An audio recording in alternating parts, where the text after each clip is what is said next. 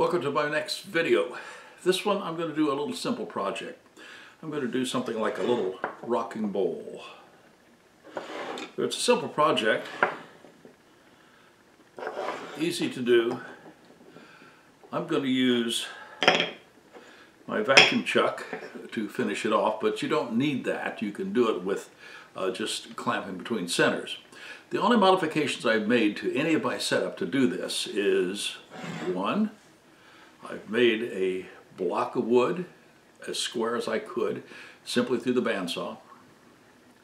And the second thing is I've taken the point out of my live center system so that I can grab this piece of wood um, in the throat of the headstock on one end and through the hole in the live center on the other end. And the piece will be turned first of all in this order and then after a tenon is created on this end reversed and completed this way. So let's go to the lathe and make a simple rocking bowl.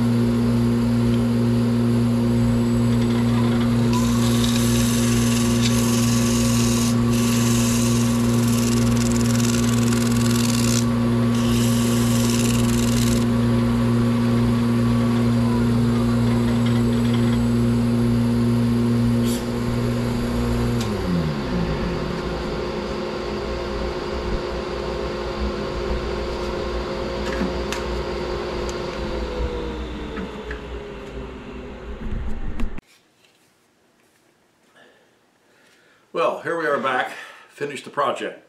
This is our little bowl. I did it out of a piece of oak. And while I used the vacuum chuck simply to hold it during the very last turning portion of this project, you can easily see that this could have been held through a jam chuck. And that last little piece of wood on the very bottom could have been removed with sandpaper. And to finish this up, a little sanding along the direction of the grain will help improve the look of the piece, but basically there's a simple bowl. I could have put a little bit more detail around the rim. I could have made them in many different sizes depending on what wood I've got to work with. But rocking bowls are a fun little project to work on and something I hope you'll try on one of the days when you have some time and a piece of wood from just about any size and a little bit of time and a little bit of fun. Thanks for watching. Subscribe, give us your comments. I appreciate your feedback and your participation. Thanks for watching.